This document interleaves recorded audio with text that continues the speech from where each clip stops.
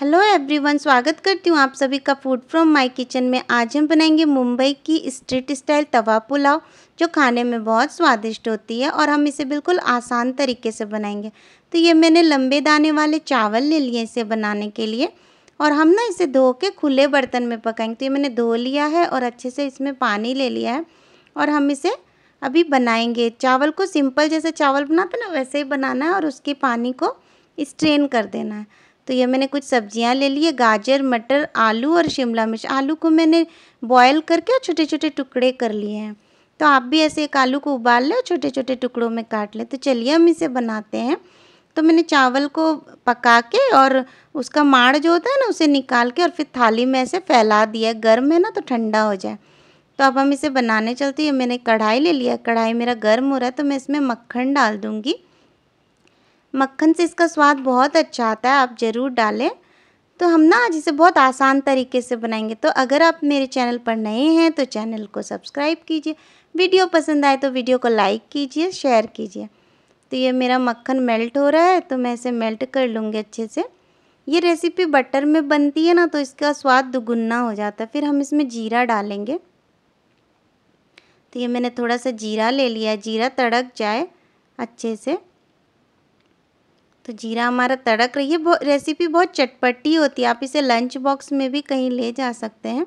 ये खाने में बहुत मज़ेदार होती है और हेल्थी भी होती है। खूब सारी सब्जियों के साथ बनती है ना तो हमारी हेल्थ के लिए भी थोड़ी अच्छी होती है।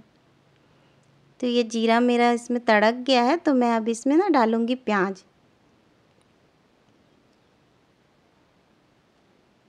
तो ये मैंने एक प्याज को ऐसे बारीक चॉप्ड करके ले लिया है। मेरा प्याज थोड़ा हल्का भून जाए ये ये जो रेसिपी है ना, इसमें सब्जियों की भुनाई बहुत मायने रखती है तो आप इसे ध्यान से देखें। तो ये मैंने प्याज को हल्के हाथों से भून लिया है। अब मैं डालूँगी इसमें शिमला मिर्च। हमें प्याज के आधा भुनने तक के बाद ही शिमला मिर्च डालना ताकि दोनों साथ में भुने और शिमला मिर्च सॉफ्ट हो जाए। तो मैं ये डाल दूँगी अच्छे से, शिमला मिर्च को ऐसे मिक्स कर लूँगी डाल के। तो ये मैं मिक्स कर लेके, इसके बाद मैं नमक डालूँगी इसमें थोड़ा सा ताकि वो सॉफ्ट होने में ना शिमला मिर्च को आसानी हो। तो मैंने नमक डाल दिया, मैं एक बार और चला लूँगी और इससे हम ढक्कन से दस मिनट के लिए ढक देंगे। दस मिनट में हमारा शिमला मिर्च ना सॉफ्ट हो जाएगा, इसके लिए हम इसे दस मिनट के लिए ढकेंगे। दस मिनट के बाद हम ढक्कन हटा के देखेंगे तो देखिए ये स्टीम से पक गया है। तो थोड़ा सॉफ्ट हो गया, प्याज और शिमला मिर्च। तो इस टाइम पे हम गाजर डालेंगे। सभी सब्जियों का पकने का टाइम थोड़ा अलग अलग है ना तो हमें थोड़ा गाजर क्रंची चाहिए तो हम इसे बाद में डालेंगे। तो ये मैंने गाजर डाल दिया है। तो अब हम गाजर के साथ इसे अच्छे से मिक्स करके भूनेंगे। तो ये मैं मिक्स कर रही हूँ। आप भी इसी प्रोसेस से बनाएँ। आपकी तवा पुलाव बिल्कुल मुंबई स्ट्रीट स्टाइल बनेगी और खाने में आपको बहुत पसंद आएगी। आपके बच्चों को भी पसंद आएगी। बच्चों को आपको सब्ज़ियाँ खिलानी हो ना तो ये रेसिपी बेस्ट है। तो ये मैंने ढक दिया है। पाँच मिनट के लिए, पाँच मिनट के बाद देखिए हमारा सारा सब्ज़ी थोड़ा सॉफ्ट हो गया ना तो मैं इस टाइम पे इसमें टमाटर डालूँगी। टमाटर इस रेसिपी में ज़रूर डालें, क्योंकि तवा पुलाव में जो टमाटर का टेस्ट है ना, वो तवा पुलाव के टेस्ट को और अच्छा बनाता है। तो आप तवा पुलाव बनाने के टाइम पे टमाटर बिल्कुल स्किप ना करें। और मैं डालूँगी इसका मेन इन्ग्रीडियंट्स पाव भाजी मसाला। पाव भाजी मसाला अभी मैंने डाल दिया, फिर मैंने यह हल्दी डाल दिया है। हल्दी डालने के बाद ना, मैं इसे एक बार मिक्स कर लूँगी पाव भाजी मसाला और हल्दी के साथ, ताकि मसाले और सब्ज़ियाँ अच्छे से मिक्स हो जाए। तो अब मैं इसमें बॉयल आलू की जो मैंने छोटे छोटे टुकड़े करके रखे थे ना, वो डाल दूँगी, क्योंकि आलू तो बॉयल थे तो इसीलिए मैंने इसे लास्ट में डाला। तो मैं इसे एक बार मिक्स कर लूँगी। मिक्स करके थोड़ा सा भून लूँगी दो तीन मिनट, उसके बाद मैं डालूँगी इसमें ये कश्मीरी लाल मिर्च है। तो कश्मीरी लाल मिर्च से इसका कलर बहुत अच्छा आएगा, आप भी डालें। तो ये मैंने कश्मीरी लाल मिर्च डाल दिया है। इससे ज़्यादा तीखा नहीं होता है, पर इसका कलर बहुत अच्छा आता है। तो मैं एक बार इसके साथ भी मिक्स कर लूँगी। हर एक स्टेप में इसे अच्छे से मिक्स करना बहुत ज़रूरी है। तो ये मैंने मिक्स कर लिया, मेरी सब्ज़ी बन गई है। तो अब मैं ना इसमें लास्ट में मटर डालूँगी, ये फ्रोज़न मटर है। आपके पास ताज़े हरे मटर हो ना तो आप थोड़ा पहले डालें। जिस समय हमने टमाटर डाला था ना आप उसी टाइम पे डालें, क्योंकि फ्रोजन मटर बहुत जल्दी पक जाती है तो इसीलिए मैंने लास्ट में डाला है। तो मैं इसे अब एक बार मिक्स कर लूँगी। अब हम इसमें अपने जो पके हुए चावल थाली में हमने फैला के रखे थे, वो डालूँगी। तो एक बार में आप पूरा चावल ना डालें। एक बार में आप थोड़ा थोड़ा ऐसे चावल डालें, क्योंकि आपको फिर मिक्स करने में परेशानी होगी।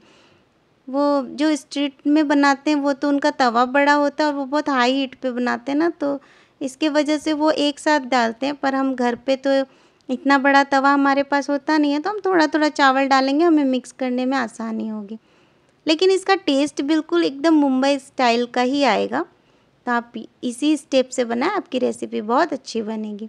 तो ये मैं थोड़ा थोड़ा चावल डाल के मिक्स कर रही हूँ। इस, ये जो प्रोसेस है ना, इससे आपके चावल टूटेंगे भी नहीं और ये अच्छे से एकदम मिक्स हो जाएगी। तो ये मैंने फिर दोबारा डाला, मैं अच्छे से मिक्स करूँगी।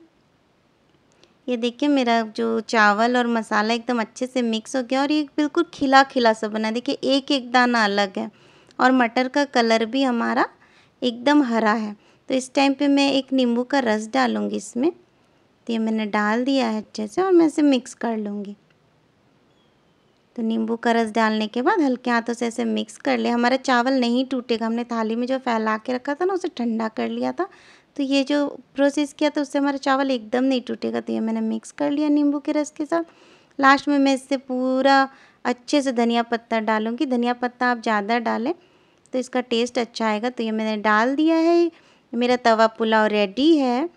तो मैं आपको अभी सर्व करके दिखाती हूँ। ये खाने में बहुत स्वादिष्ट होती है। अगर आपको मेरी वीडियो अच्छी लगी हो तो वीडियो को सब्सक्राइब करें। वीडियो को लाइक करें। शेयर करें और कमेंट सेक्शन पे मुझे कमेंट करें। मुझसे कुछ और रेसिपी चाहिए तो भी मुझे कमेंट करें। ये देखिए, चावल का एक एक दाना खिला खिला और इसका कलर भी अच्छा है और टेस्ट तो बहुत ही बेहतरीन है। आप एक बार ज़रूर ट्राई करें। तो इसे मैंने सर्व किया है प्याज के साथ और नींबू के साथ। बीच में मैं इसे धनिया पत्ता रख दूँगी। Thank you for watching